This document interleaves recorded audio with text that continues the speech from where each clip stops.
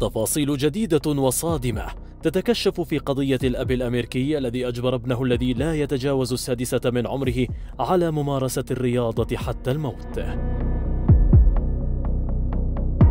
كريستوفر غريغر قال خلال محاكمته إنه خرج من غرفة الطوارئ بينما كان ابنه يحتضر وتركه يموت وحده. غريغر انهار باكيا وزعم أن الالتهاب الرئوي هو الذي قتله وليس جلسة الصالة الرياضية. فيما شهدت ممرضة أنه ترك ابنه ليموت مع الغرباء وكان بلا عاطفة أثناء زيارة غرفة الطوارئ. وبعد عشرين دقيقة فقط من إعلان الوفاة أظهرت لقطات كاميرات المراقبة الأب وهو يغادر المستشفى.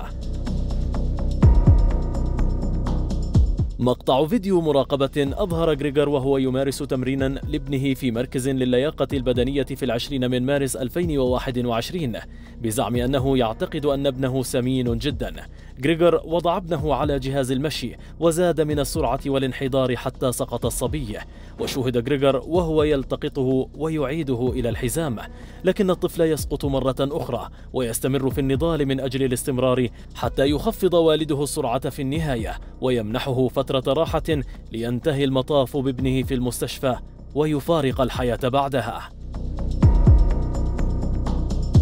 المدعون قالوا إن سوء معاملة والده هو الذي ترك الطفل يعاني من إصابات داخلية كلفته حياته في النهاية بعد أسبوعين من التمرين المؤلم.